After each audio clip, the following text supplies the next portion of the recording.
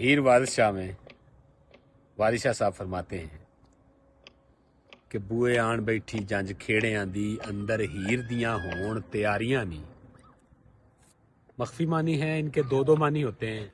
आप सब समझदार लोग हैं। जो हीर को जानते हैं वारिशाह को जानते हैं, उनको पता होगा कि इसके माने क्या है। मैं सुनाता हूँ आपको। बुए आन बैठी ਜੰਜ ਖੇੜਿਆਂ ਦੀ।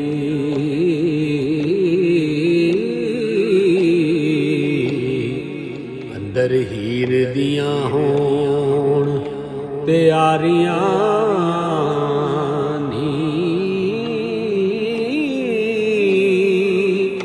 ਮਲ ਮਲ ਨਵਾਂਦੀਆਂ ਹੀਰ ਤਾਈ। ਕੁੜੀਆਂ ਚੰਗ ਸਿਆਲਾਂ ਦੀਆਂ ਸਾਰੀਆਂ ਨੀ ਤੇ ਵਾਰੋ ਵਾਰ ਦੇ ਕੇ ਕੰਦਾ ਡੋਲੜੀ ਗੋਰ ਮੰਜ਼ਿਲ ਤੇ ਜਾ ਉਤਾਰੀਆਂ ਨੀ। ਆਲੇ ਸਾਂਭ ਹੀਰੇ ਘਰ ਸੋਰਿਆਂ ਦਾ। ਓ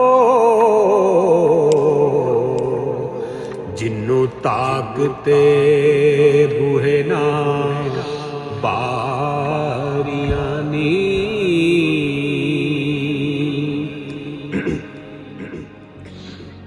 ਤੇ ਸੌਂਪ ਕੇ ਹੀਰ ਰਜੇਟੜੀ ਨੂੰ।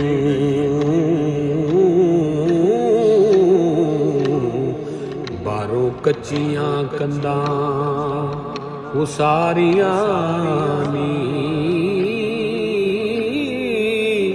ਇਥੋਂ ਤੀਕ ਹੀਰੇ ਹੁਣ ਹੱਦ ਸਾਡੀ।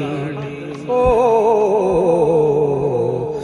ਅੱਗੇ ਔਖੀਆਂ ਮੰਜ਼ਲਾਂ ਪਾਰੀਆਂ ਨੀ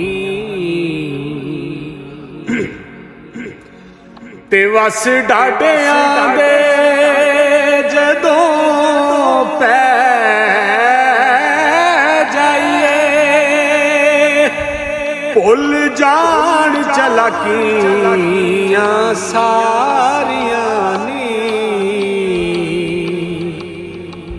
ਵਾਰਸ ਸ਼ਾਹ ਨਿਮਾਣੀਆਂ ਅਸੀਂ ਕੂੰਜਾਂ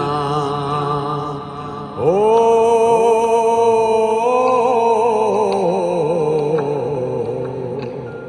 ਇੱਕ ਦਿਨ ਆਉਣੀਆਂ ਸਾਡੀਆਂ ਵਾਰੀਆਂ।